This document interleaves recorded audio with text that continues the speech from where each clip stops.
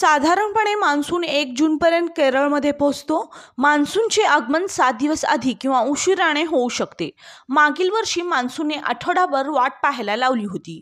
मागील वर्षी केरळमध्ये मान्सूनचे आगमन आठ दिवस उशिराने म्हणजे आठ जून रोजी झाले होते.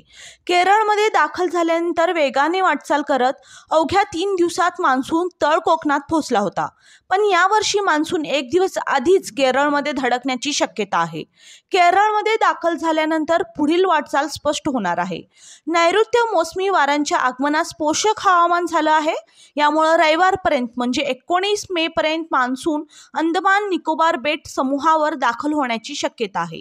देशाचे प्रवेशद्वार असलेल्या केरळामध्ये यंदा एक दिवस अगोदर म्हणजे एकतीस मे रोजी मान्सून दाखल होण्याचे संकेत हवामान विभागानं दिले आहेत. मान्सूनचे आगमन चार दिवस मागे पुढे होण्याची शक्यताही ग्रही धरण्यात आली आहे.